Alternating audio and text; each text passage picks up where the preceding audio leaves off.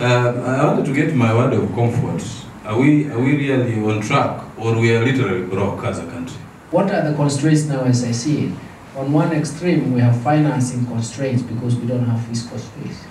On the other extreme, we cannot use debt because we don't have adequate headroom for debt.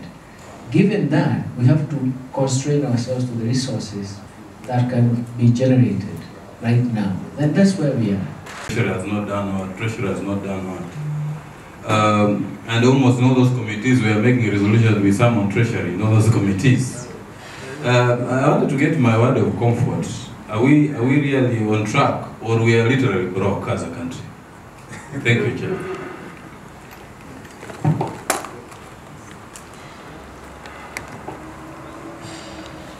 Okay, just make that final Mr. comment. Mr. Chairman. Mr. Chairman, through you, uh, I mean, let me say that a country cannot be broke. The other day I was making a joke that we can actually even sell our assets to the next country. The bottom line is that the flow of resources is the, is the issue at the time we need the resources, not the stock of, we, are, we, are, we can have the wealth. But let me also answer your question, that, that question in a different way. And because we are Kenyans here, we, are, we, are, we, we should not hide our failures. The last 10 years of devolution has not worked very well because we should see counties actually moving towards self-sustaining because they are utilizing their relative comparative resource availability and capabilities to generate incomes. But we haven't seen that. So essentially, what we've done is to derive much of the transfers from the central government. So we need to change this, and this is where we'll, we'll have to change from dependent on the treasury has to do this for us to do this. So essentially, it's a way of, it's a development. That's why the bottom-up economic transformation agenda is an agenda, not an economic model. Because we have to, to understand where did we go wrong.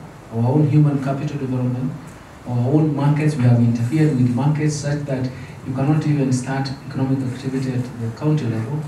The domestic resource mobilization, as you said, and even the tax system itself cannot generate adequate resources because of the design problems. And finally, the point that uh, we are working on is actually how do we move to the fourth industrial revolution with this economic agenda, economic transformation agenda. This is what is going to liberate us in terms of resources. So I'm happy that uh, you made that comment. But a country cannot be broke. It's the resource timing. So essentially, we have a lot of resources, but the resource flows are quite constraining. What are the constraints now as I see it? On one extreme, we have financing constraints because we don't have fiscal space. On the other extreme, we cannot use debt because we don't have adequate headroom for debt. Given that, we have to constrain ourselves to the resources that can be generated right now. And that's where we are. And I'm sorry, I, I don't think I have, I, I just wanted to make that point. It, may be neutral, but it's, in itself, it will be shown that we have a lot of work to do. And uh, we have to make sure that we nurture what we have done. And in, in the intervening period, inter uh, the intervening period, you have seen what kind of negative shocks that we have suffered.